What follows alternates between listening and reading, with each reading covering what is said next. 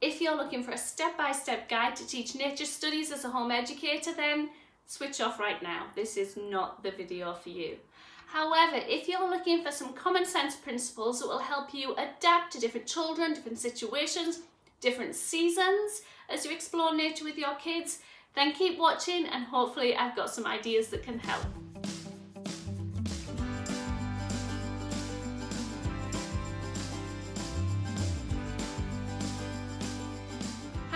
Rachel. I'm a home educator to three children and I also work for the Twinkl Home Education team. One of the great things I get to do is to make nature workshops for you to use at home. Now, I probably shouldn't admit this, but I am not a nature expert. I'm not even a stereotypical outdoorsy person.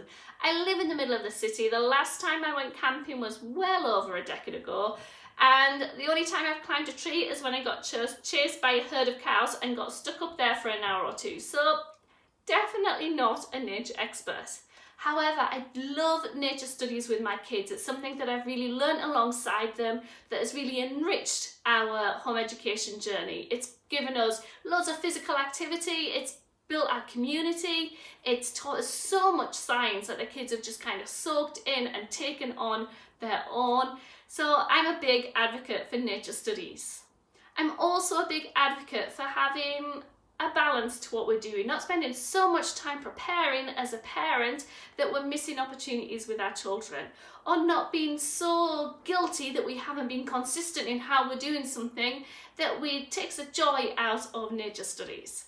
So what I hope I can share with you today is some principles and some ways of kind of adding to nature studies when you're able and subtracting from nature studies when you're not able to, when maybe the energy is not there, when maybe the children need a little bit of a different focus. So I'm going to share those with you and a few little tips and tricks along the way as well. And hopefully we can really get stuck into nature studies together.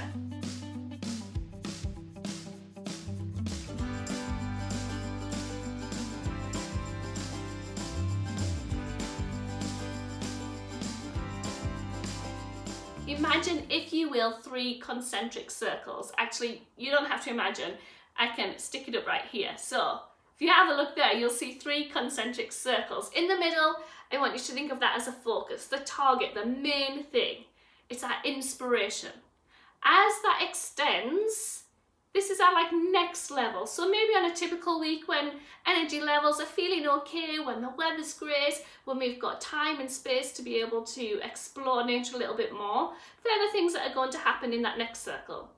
And then expand even more those weeks when you've got loads of energy, when it's a topic that really enthralls your children, or if you're the type of person that loves to plan whole unit studies around one topic, then that's when you're going to be reaching the whole of that circle. So I'm going to talk through those different things, the inspiration, and then let's say the research that you can use in nature studies, and then the expression of those nature studies. We're going to talk through those three layers and how you can build up to create really meaningful nature experiences for your children.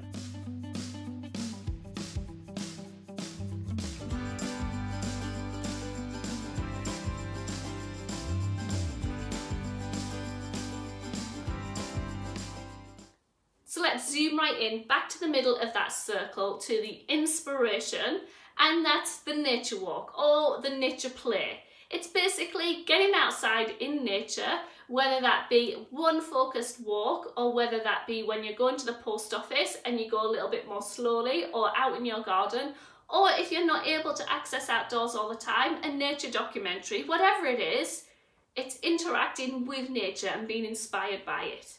You do not have to have a theme, although that really helps sometimes. You don't have to have all the answers.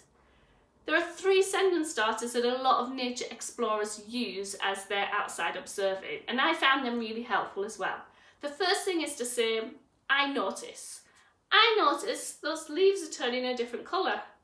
I notice that those insects really like being over near that plant, but not near that plant.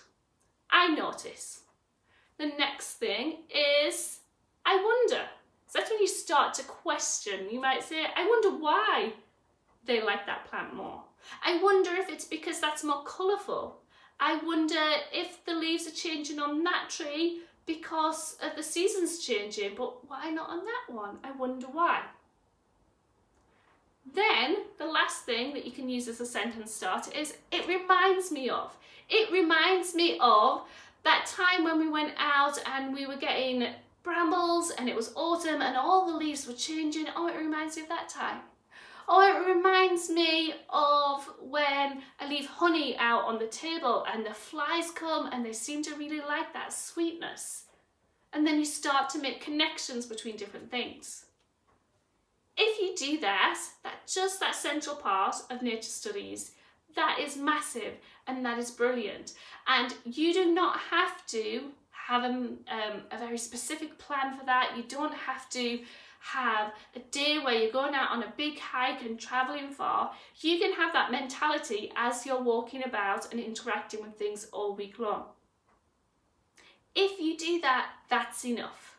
I know I keep harping on about that, but there are weeks where we can feel guilty as home educators. We can think we haven't done enough, we haven't done this, we haven't done that. I saw someone else's stuff on social media and wow, it looks fantastic, and I didn't manage that at all.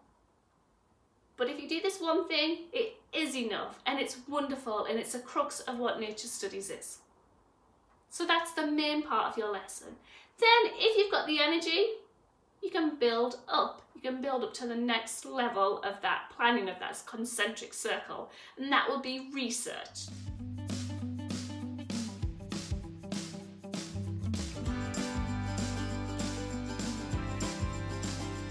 So research is going to look very different for every family, for each kid in the family and their learning styles, for how much energy and time you have that week, for the balance of other subjects that you're looking at. So again, I'm not dictating how you should do it, but here are a few different suggestions. You've done your nature walk or your nature play, and the next level you could add in is a book. It could be an ebook because sometimes it might be something that has just come up spontaneously and you can't go to the library. Or you could have a topic that you've then chosen books from the library for. Read a book, it could be fiction or non-fiction, something that links in with that topic and takes that knowledge a little bit further.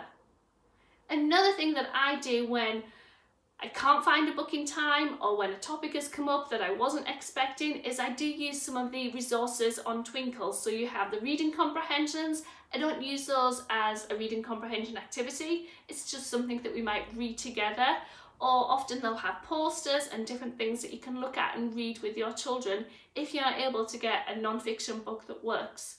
So we read together and sometimes that's it. We go on our walk, we come back for a snack and we read as we do that and talk about it.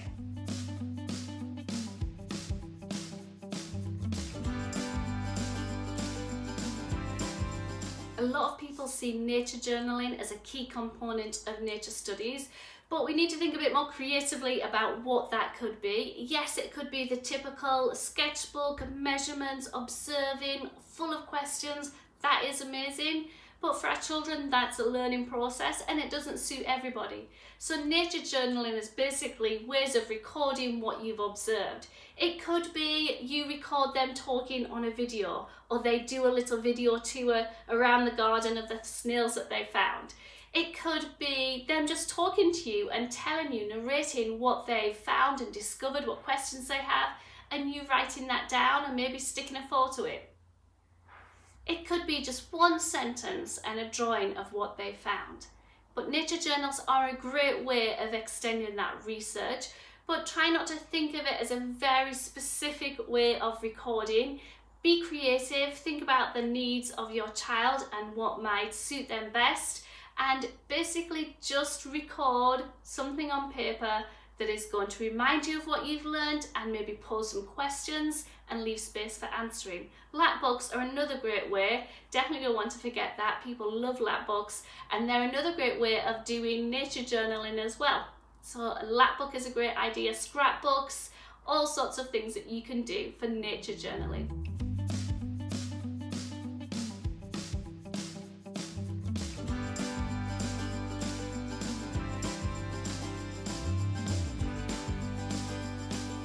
Obviously I'm going to mention this next one because I make nature videos on the internet, but videos are a great way of doing that research, especially if you need to sit back a little bit and let someone else take over then our nature videos do that but it's also there are also so many people on YouTube who are willing to share their expertise to share the animals that they have all sorts of things that they can do to help your children learn more and answer pretty much any question that might have come up on your nature walk.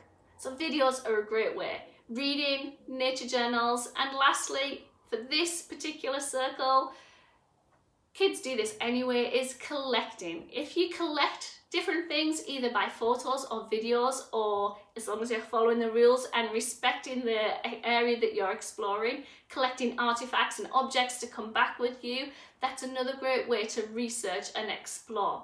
There are lots of different ways that you can do that. You can do nature weaving as you go along. You can have special um, containers or even just an egg box to collect different things in. You might even have a scavenger hunt. There are lots of ways of engaging children in that.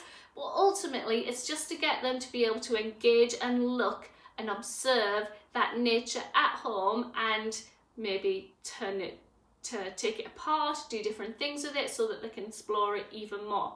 So collecting is a fantastic way of building up that nature plan. So you're with me, we start with our nature walk and play and then we can choose one or all of those things to build up the next level and then we're going to move on to the final level, expressing, giving children an opportunity to express what they have explored in nature.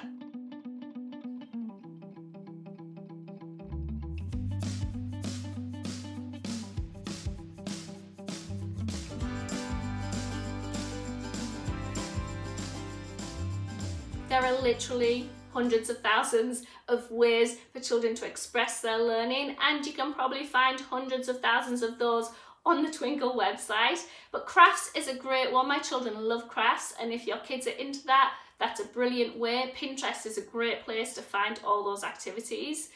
Another idea is sensory expression. So you could have Play-Doh and they could build models of things or they could imprint. You could have a sensory tub filled with things that are linked to what you're discovering in nature. Lots of different ways. Structured learning, I know some people don't like, but if your kid really loves that, there are lots of activities that you can get off Twinkl. We theme them, so if you want to learn about moss and lichen, you can go to that area on the Twinkl website and find it, or snails, or whatever it might be and you can get things to look at the anatomy of, of nature, you could get things to look at life cycles, all sorts of things. There are PowerPoints to help you. So if you want to add in structured learning, that's a fantastic thing to do as well. Now we could go on and on and on with all sorts of different ways of expressing, but that's not the point. I'm not trying to dictate to you 10 great ways of doing nature studies, but to equip you to build up that lesson, that session a bit more. And some weeks we may, might have all the energy in the world and we'll start with our nature walk, it'll extend into a whole unit plan, we'll have structured learning, we'll have Play-Doh activities, we'll have art and music and all sorts of things.